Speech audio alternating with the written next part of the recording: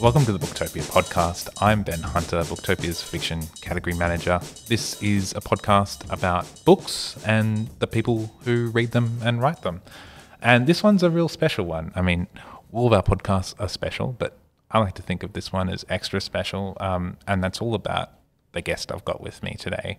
Emily Maguire is the author of six novels, including the Stella Prize and Miles Franklin Award shortlisted An Isolated Incident.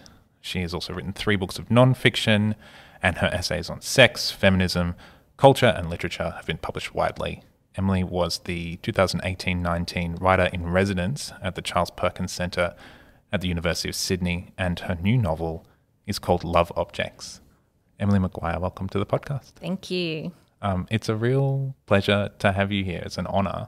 Um, and it's been a long time between novels for you. So uh, we're recording this just a few days before Love Objects is published. How are you feeling? How are you going? Um, feeling pretty good about it. You're right. It is a it is a long time between novels. I think an isolated incident was 2016, so that's a, a good five year gap there. Um, I have written a non fiction book in between, which took a lot of my time. Um, but yeah, it, it feels great actually to have another novel out in the world. It's a really different experience um, to talk about a novel than it is to talk about a non-fiction book, I think. Yeah. But this is a novel with a lot of content. And I should also say, yes, that's also why there was a quite a big gap that this book has a lot of um, real world research behind it. Yeah. Um, uh, Love Objects is a it's a challenging and confronting and wonderful book that has made me feel a lot of things. I finished reading it last night and it's still ticking over. Um, I've been thinking about it and how I would explain it or even try to explain it. And I, have I've been thinking I would boil it down to being uh, a study of how trauma can isolate people um, and particularly when people are already vulnerable, how terrible that can be. um, how would you describe this new novel? Yeah, that's really interesting. I think that's definitely in there. Um, for me, the the relationship at the heart of this novel is between an auntie and her niece and, and nephew to a slightly lesser extent. And one of the things for me, thinking all the way through it, um, certainly that trauma and that isolation is there. But I also was thinking a lot about the question of um, kind of what what we owe each other as people. Um, I think you know there's a sense if someone's in your immediate family, then whether whether this ends up happening or not, there's a sense that you're sort of responsible for each other, a parent with a child, and and vice versa. But when even get uh, certainly the the kind of culture I grew up in, even one degree removed from that, um, there's sort of a sense of why would a niece, in this case, the character Lena, um, really kind of put her life on hold to clean up after her auntie's mess. And that's something that was sort of foremost in my mind in, in this was writing a book about um, people who, you know, um, take responsibility for each other in a way, right? Uh, for good and bad. Because in this case, and you know, I'm sure we'll get into the story of it a little bit more, but but there's a case in which uh, Lena is helping someone who doesn't want help, yeah. And and that sense of, you know, how do you how do you help someone who doesn't want help or doesn't need help? Should you do that at all? And and who gets to decide? And and all that was sort of um, really driving the the emotional um, story of the book anyway. Can we I mean, yeah, it's hard. I, I, don't know how much we want to reveal. um, yeah, that's always the thing. So. Uh, but should we start with Nick because mm. um, I think that's the perspective the book begins with, right? Yeah, yeah. Um, uh, tell us about her and her. Just she she has uh, a colourful life. yeah, Nick, Nick is a um, I think a really tough, smart, middle-aged woman. She's a lifelong and very proud checkout chick. Um, really, actually loves her job and wouldn't want to do anything else. Um, she lives alone in a house that she inherited from her mum.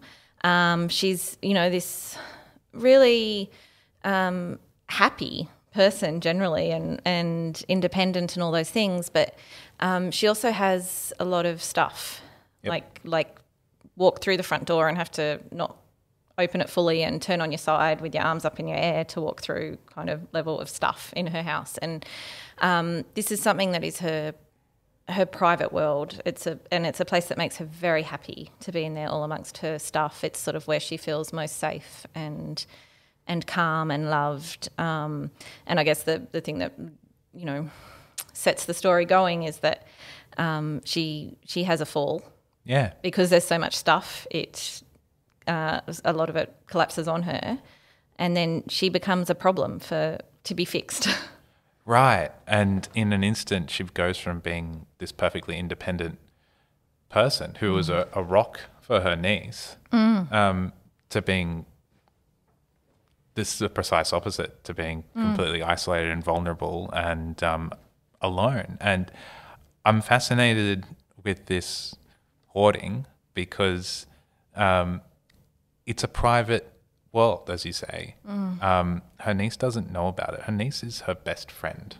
Um, I think you say in the novel, and uh, but she's she's also uh, an active member of her community. She's not entirely alone, as you might imagine the stereotype of a hoarder to be.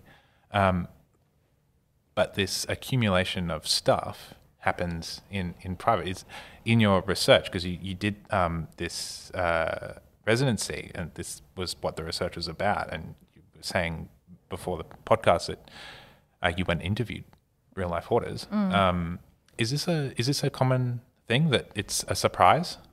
Yeah, um, it can be.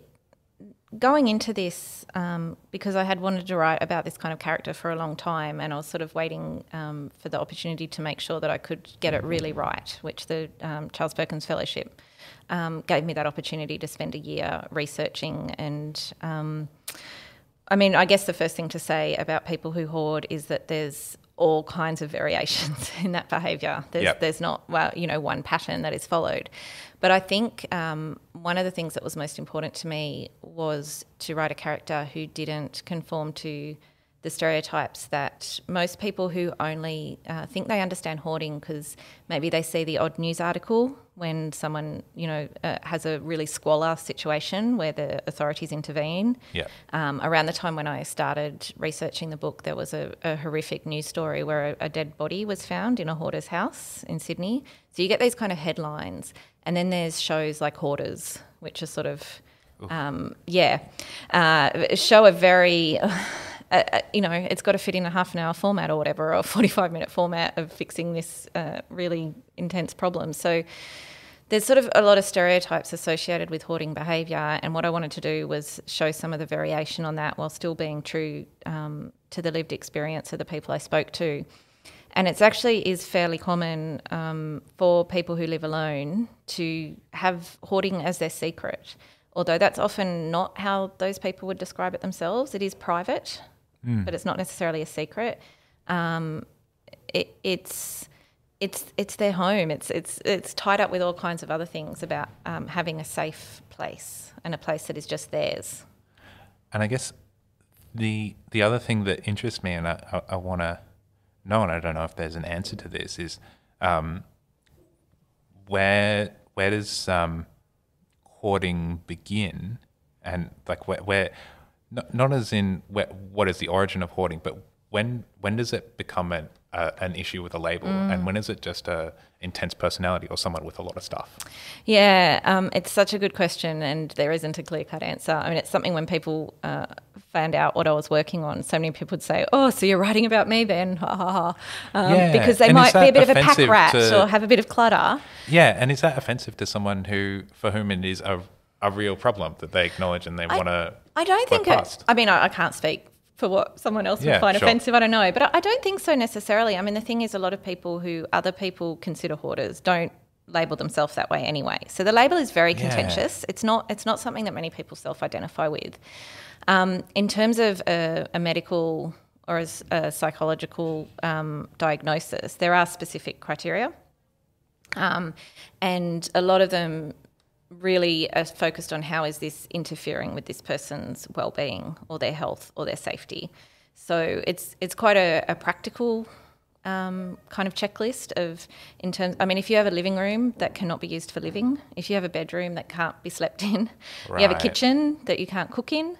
Um, if you have, you know, often you'll, you'll we will have real health and safety risks um, in those homes, and you know, it's one of the things that I find really interesting in talking about this that that it is something that um, healthcare professionals will diagnose or and or social workers will will talk about, but someone's circumstances outside of the hoarding behaviour really affect how that diagnosis might come, or if at all.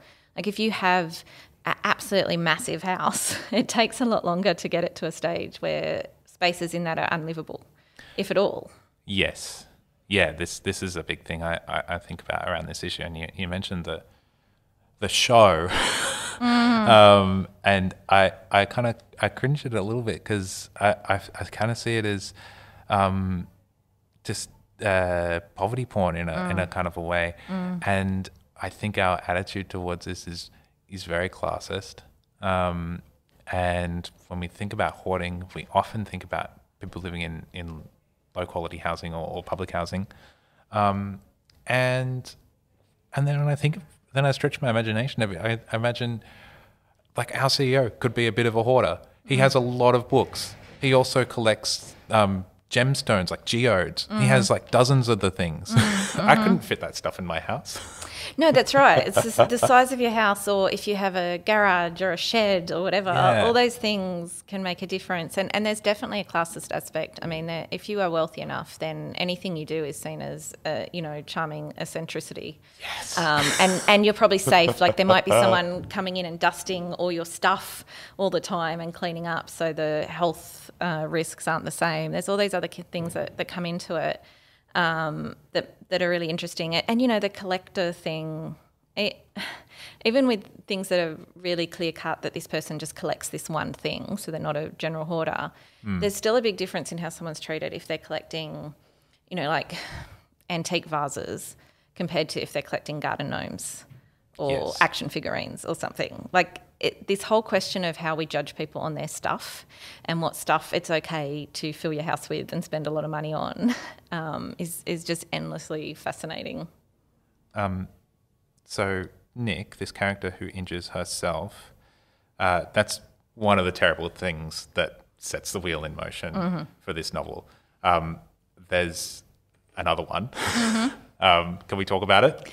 I think we can talk around it a bit. Yeah. Okay. Yeah. Um, it it has to do with an experience that the niece character Lena has on campus, which thrusts the novel into the the center almost of the conversation that's happening right now around um, consent and rape culture mm-hmm. um, uh, in a very real way, and it's um, it's frustrating and distressing to read um, because it's so clear and real.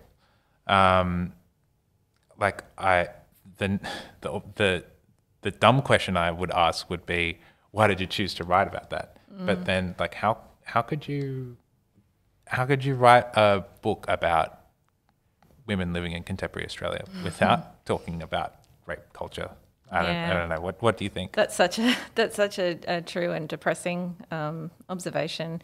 You know, uh, with it coming out now and starting to talk about the book, and people are saying, "Oh, it's so prescient." You know, everything that's in the news now. Um, but it was prescient when I was writing it. Mm. Like it was of the moment when I was writing it. Like when hasn't it been of the moment? You know, I think of um, books like Charlotte Wood's Natural Way of Things, and I remember her talking about writing that. I think that was a 2015 book and about how the news was just overwhelming with different stories of, of women being sexually exploited or assaulted in one way or the other.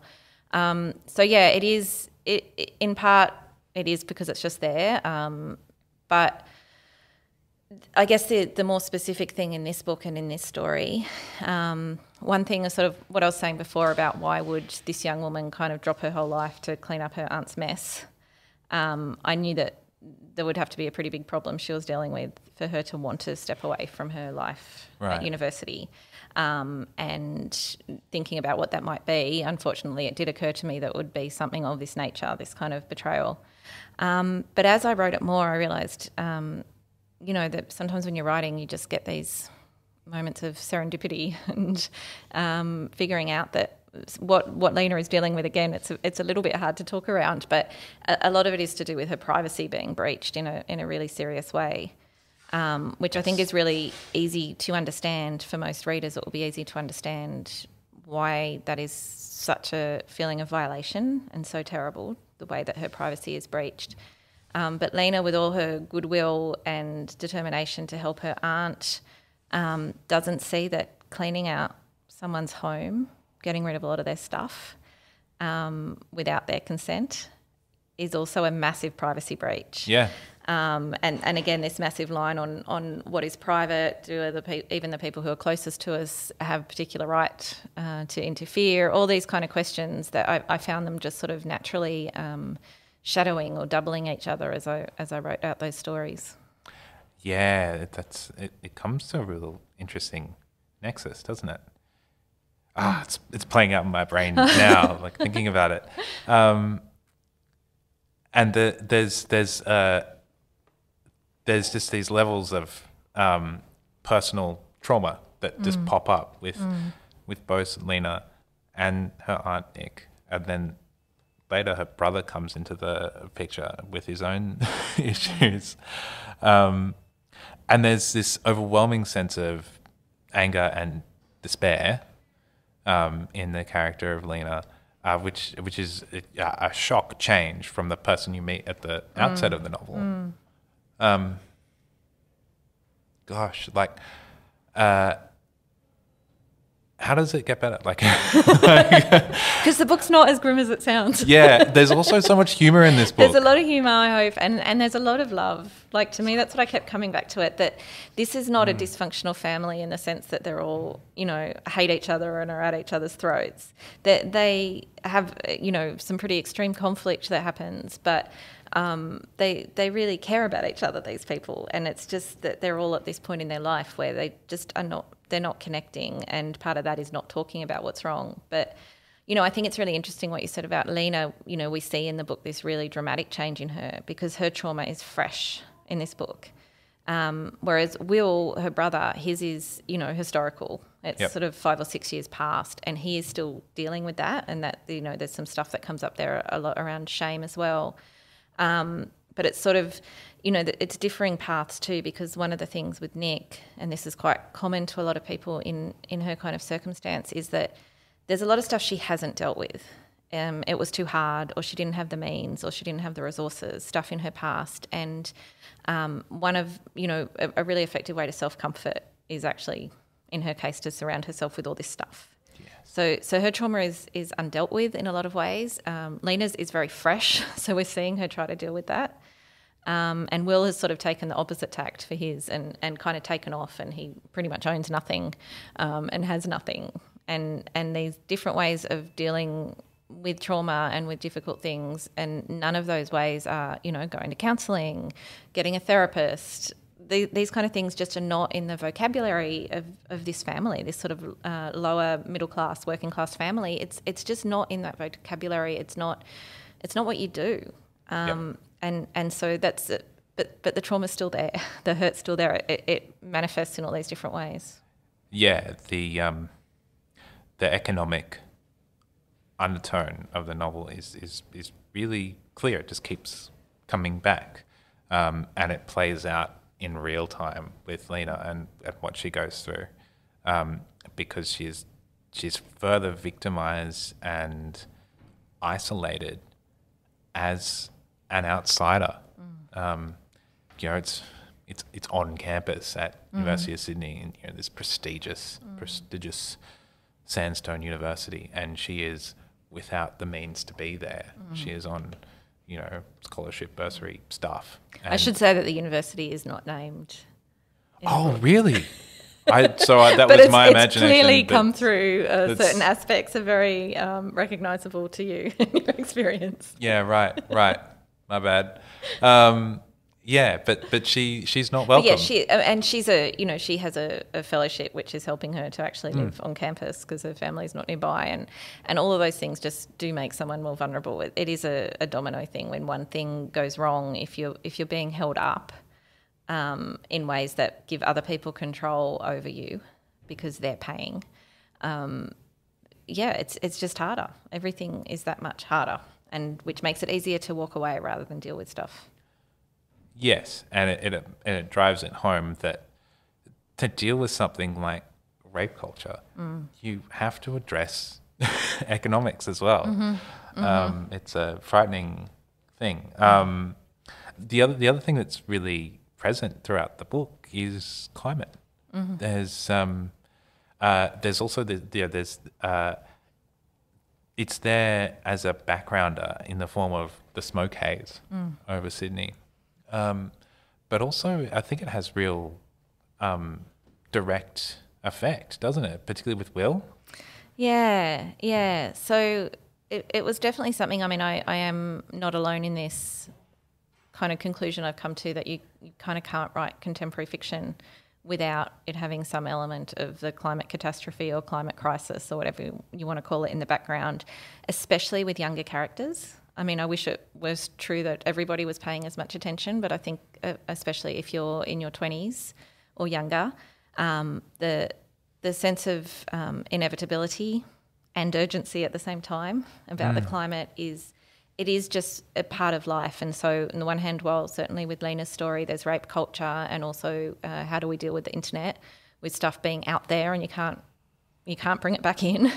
Um, that is just part of young people's lives, all of our lives, but especially young younger people's lives. But but so too is the climate crisis, and and the sense that you know I think Will is so distressed by um, how everyone's just accepts it, you know. And and this was sort of when I was writing it too. We did have all these days in Sydney where it was shoved in our face. Um, the, this crisis with the smoke and the ash coming down on our cars, and of course that was like what people in in rural areas and other parts of the world are dealing with constantly. And we just sort of had this reminder that that um, made us all pay attention for two weeks or whatever it was um, and then to to fade away again. And it just again feels like something like if we if we don't deal with it, if we don't pay attention and talk about it, like it's not it's not going to stop being a problem just because no one wants to talk about it. Yes, um, and it's it's refreshing in a horrible way to see it acknowledged. I mean, it, it's it is part of the world. Like Yeah. if you if you talk in a writing class now about writing setting and writing scene, it's it's, there. literally the air we're breathing. yeah. Um, I'm going to ask the um, big, hard, silly question. Um, who is this novel for, and what do you want to achieve with it? Oh my god, that is a hard, hard question. Um, who is it for? There's so there's like several different ways I could answer that question, but um, one thing that I, I think maybe I would I would like this particular group of people to to pick it up is is people who feel in some way shamed or uncomfortable about their relationship with stuff, whether they are uh, have hoarding behaviour or it might be at the other extreme, um, or or anywhere in between. I think you know the the conversations I've had in researching this and and just starting to talk about it as a published book now around this is there is so much emotion tied up in in our relationship to stuff and and a lot of shame and you don't have to be a, a hoarder or or have any other label on you. You know people always say oh i feel so silly about how much i care about these shoes or i feel really embarrassed about how much i you know uh, feel attached to this or that object. And and i i think i, I would like people to feel um, to to read this book and you know, not feel seen in a way that's like giving them approval for whatever their particular behaviour is. Because a lot of our behaviour, I mean, this ties into the climate catastrophe too. A lot of our behaviour as humans to stuff and what we think we need and how we treat it in landfill and all of that is is very destructive. But but just to see how human it is, that it might manifest differently, but it, it's actually a very human thing to to invest in motion emotion in stuff, and there shouldn't be this shame attached to that in the way that there is. Yes, there's a serious amount of othering we do. Yeah, and and I guess as with a lot of other things, uh, self justification. Like people will talk about, well, yes, I spent you know thousands of dollars on this handbag, but at least I'm not um, getting fast fashion, you know, and getting lots of five dollar things and. And then people at the other end will be like, "Well, I'm, at least I'm not one of these people who spends all their money on an expensive handbag." And I you know, it's it's people want what they want or what or, or what they need and get what they afford often, and and then we'll find ways to justify it and maybe have this kind of secret shame as well. And Um, I don't think there's a right or a wrong answer here, it, but it is something that strikes me as really human. It's not a it's not a um, shallow thing to think about our relationship with objects. This is a book that's really um, interesting. It's a book that's really um, moving um, at the same time as being confronting. Um, and yeah, as as I've sort of gone through these different elements, it's um, I think it will be clear to the listener um, that it's incredibly contemporary. Mm. so I I, I want to ask, um, uh, how do you think fiction should interact with what's going on in the headlines and um, to a to a prospective author who wants to write that kind of stuff, uh, what what advice do you give for them to do it tactfully and effectively? Um, I'm the worst person to ask this question, as any of my writing students will say, because I'm very strong on the fact there's no right way to do it. There's no shoulds. there's no um, have to. I think, you know, certainly for me, as I said, it's very important if I'm writing realist fiction, which I am, and contemporary, that I'm taking in the fullness of that world as my characters experience it. And I think that's something with, with all forms of fiction that, that you want to be actually representing um, what what life is actually like for your characters. Mm. And, you know, of course, the, there have to be limits in that. But I, I find it quite odd when I read contemporary novels that barely acknowledge social media or the internet or even texting. Like it's it's a little better than it than it was even a few years ago. But there's almost this sense, you know, like uh, this time last year or, or over the last year, there's been a lot of talk about should should COVID appear in our novels. Yeah, and sure. I kind of think, well, if you're writing something in which that is part of that character's experience in that moment, then of course it should appear in the novel. like it's it's all of these things, and we we don't know what is going to stand the test of time.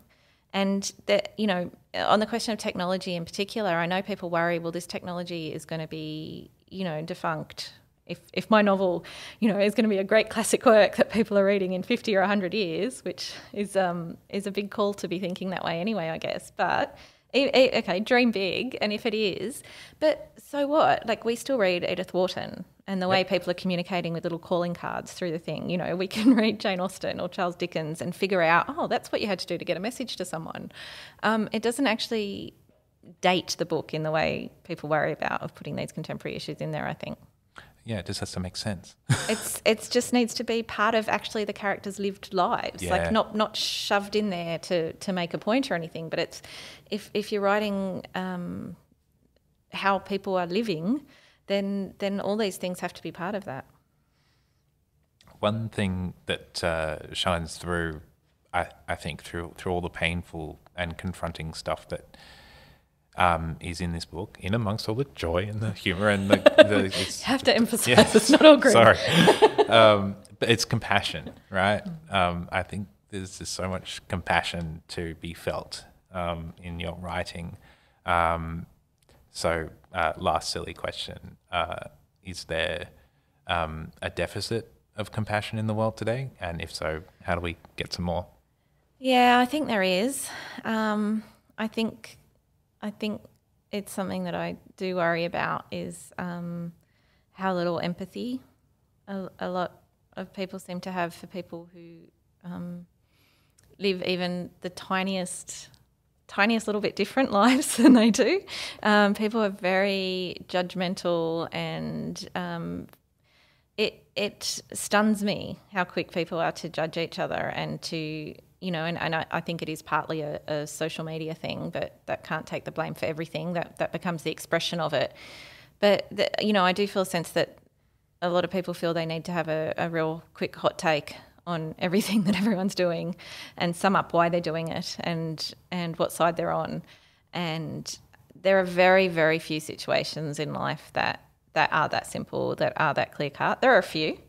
Um, I think you know what what's done to Lena in this book would be one where it's pretty clear cut.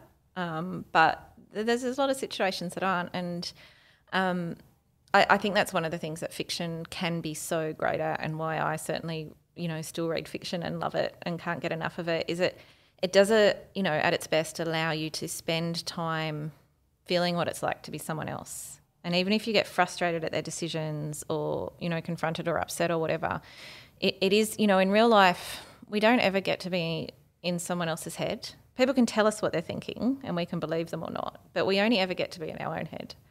Um, and in fiction, you at least get the feeling, even if it isn't real, of what it is like to be someone else, to think their thoughts and feel their feelings. And, you know, that, that is an incredibly valuable thing for me. And, and you know, I, I, it's definitely something I aim for in my own writing all the time. Well, thank you for sharing that value with us. And thank you for spending some time with me today. This has been wonderful. Total pleasure. Thank you. Emily Maguire is the author of many books, as I alluded to before. The latest is called Love Objects. It is published by Allen and Unwin.